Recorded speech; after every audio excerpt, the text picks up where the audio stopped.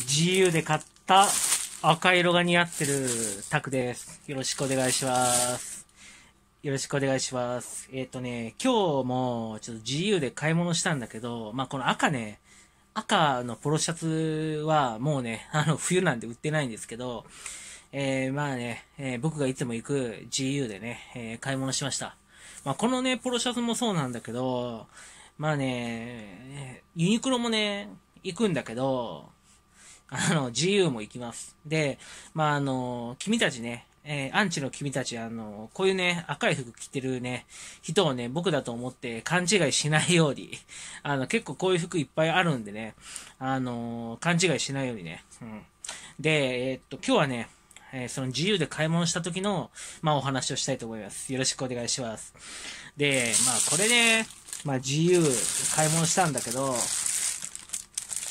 えー、Your Freedom って書いてる。うん、まあね、え日本語、英語なんだけど、まあ、意味がわかると思うんだけど、まあ、Your Freedom、ね、GU って書いてて、まあ、僕ね、GU は、やっぱりユニクロよりちょっとね、こうなんか、なんだろう、若者層をやっぱりターゲットにしてる商品だと思って、ちょっとね、なんだろう、ユニクロって結構ね、利用する人の年齢層高めなんだけど、GU の方がちょっと低くて、年齢層がね。あとなんか若者とかね、結構 GU 好きなんですよ。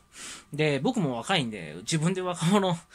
て言うんだけど、結構ね、自由好きで、うーん、まあその、ユニクロより、まあファッションっていうか、そのなんだろう、あの、デザインとかがね、こうなんだろう、えーちょっと若いというかね。で、まあ、ユニクロも行くんだけど、まあ自由に、えー最近よく行きます。で、自由でよろしくお願いします。自由、まあ東京に住んでる時は行ったんだけど、あの、まあね、若者結構好きなんで、えー行ったんだけど、やっぱりね、こっちに来てからね、さらに行くようになりましたね。で、今日のね、こっから僕の話なんだけど、ちょっと前振りが長くなっちゃったんだけど、まああの僕ね、今日、まあ自由で買い物したんだけど、その時にね、まああの僕ね、いつも自由で買い物する時の、まあ、パターンがあって、まずね、商品を見る。これ1ね。これみんな一緒じゃないですか。商品見るじゃないですか。で、えー自分がいいと思う商品を見ると。で、二つ目何かというと、これはね、ここポイントなんだけど、二つ目。これはね、あの、女性のね、二つ目、女性のスタッフに、あの、聞くんですよ。あの、質問する二つ目。まあ、いわゆるね、あの、まさきマンとかがよくやってる、まあ、ナンパに近いんだけど、ナンパではないですよ。これあの、自由の人見てても、ナンパじゃないんで、僕、あの、商品についてちょっとね、えーやっぱりね、女性のなんだろう、こう、あの、スタッフに聞きたいんですよ。だから、まあ、あの、まさきマン風に言うとナンパなんだけど、ナンパではなくて、あの、まあ、スタッフにね、あの、どういうね、えー服がね、流行ってるかとかね、えーどういうね、えなんだろう、着こなしがいいのかとか、まあそういうのね、まあ聞くわけなんですけど、まあ今日はね、ちょっと、はっきり言って超ね、僕のタイプのね、え女性がいて、あの、本当にもうね、これね、超ストライクゾーンに入ってる、もうね、すっごいタイプの人がいて、話しかけました。で、うん、あの、ぶっちゃけね、あの、本当に超タイプでしたね。もうこのね、この2年ぐらい、えー見たね、女性の中で一番タイプで、やばいなと思って、で、年齢も若いしね、うん、あの、なんかね、うん、まあ、自分タイプのね、えー顔だしね、えーまあ、スタイルもいいしね、うん、本当ちょっと話しかけちゃったんだけど、話しかけちゃったんだけど、まあ、あの、あの、なんだろうな、その、いや、本当タイプでした。で、まあ、あの、まあ、自由の人ね、見てないと思うんで、こんなこと余裕で言ってるんだけど、多分見てないですよね。うん、それは大丈夫だと思うんですけど、まあ、それでね、まあ、服ね、どういうのがいいかとかね、まあ、そういういろいろね、えーまあ、聞くふりして、聞くふりっていうか聞いてたんだけど、いやー、本当な、可愛いなと思って、あの、聞いてたんですけど、うん、まあ、ユニクロはね、結構年齢層高くて、スタッフのね、えー結構おばさんが多いんだけど、まあ、おばさんって言って同じぐらいだけどね、僕より年齢が高いぐらいの感じの人が多いんだけど、GU はね、結構若いですよね、みんな。だから、まあ、話しやすいんですよ、ぶっちゃけ。あの、ぶっちゃけ話しやすいっていうのは、そのね、あの、僕がなんかこう、なんだろう、こう服のこと聞いたりとかね、えー、その服のね、どういう、その、コーディネートね、がいいかとか、結構ね、聞きやすくて、本当にね、やっぱり年齢が近いっていうのもあって、すごい僕は、あの、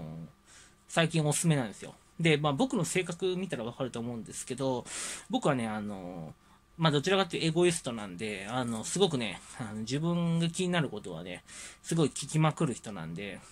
あの、すごい質問しまくるんで、まああの、まあ服のね、こととかね、いろんな、そのなんだろう、服のこととかね、そういうなんだろう、ファッションのこととかね、うん、まあいろいろ気になったことは聞きまくります。で、まあそういう感じでね、まあなんだろうな、うん、その、やっぱりね、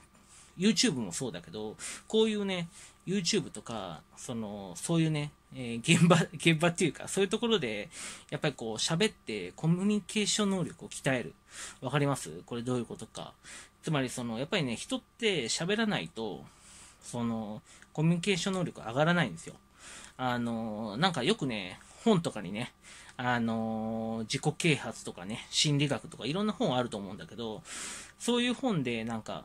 こう、勉強した気になってる人っていっぱいいるじゃないですか。コミュニケーション能力を高めるためにはみたいなね、そういうなんかこう本があると思うんだけど、自己啓発みたいなね、ああいうの本当役に立ちませんね。うん。役に立たないっていうのは、その、やっぱりね、コミュニケーションっていうのは人と会話することえー、でしか身につかないものなので、やっぱり本とか読んで、うん、そのなんだろうな、自己啓発の本とか読んでね、あの、いろんな本読んでも、結局最終的にはね、あの、喋らないと、えー、鍛えられないので、まあそういう意味では僕はね、あの、常にね、あの、あの、そういう服を買うときでもね、あの、なんだろう、こう、服を買うときですら、やっぱりコミュニケーション能力を鍛えるためにね、えー、まあね、あの、もちろん僕服買うんで、服買って、あの、いいお客さんなんだけど、その、そういうところでね、コミュニケーション能力を鍛えながらね、えー、まあ行きたいなと、そう思ってます。で、うん、これ本当に僕、服結構いっぱいいっぱいではないかな。まあそれなりに買うんで、あのその若い年齢の層にと、なんだろうな、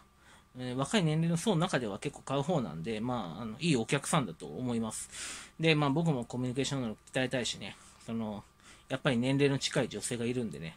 えー、話もしたいしね、うん。まあ、ユニクロより自由の方がいいかな。最近はそう思ってます。なんで、えー、っとね、まあ、僕の動画見てるね、若い人もね、えー、ぜひね、あの、自由ね、利用してもらって、えー、もらえればと思います。まあね、本当にね、こう、若いね、人向けの服がいっぱいあるんで、あの、本当いいですよ。で、これね、GU。Your Freedom って書いてね、この GU で今日も買い戻しました。まあ、結構ね、若い人向けなんで、うーん、なんだろう、年配の人はね、本当ユニクロとかね、あの、それ以外、うん、GU 以外の方がいいと思います。で、まあ、今日は自由で買い物した時のね、えー、お話をしました。最後までご視聴ありがとうございました。えー、これからもね、婚活、えー、に関するね、まあ話をしていきますので、ぜひチャンネル登録と高評価よろしくお願いします。ありがとうございました。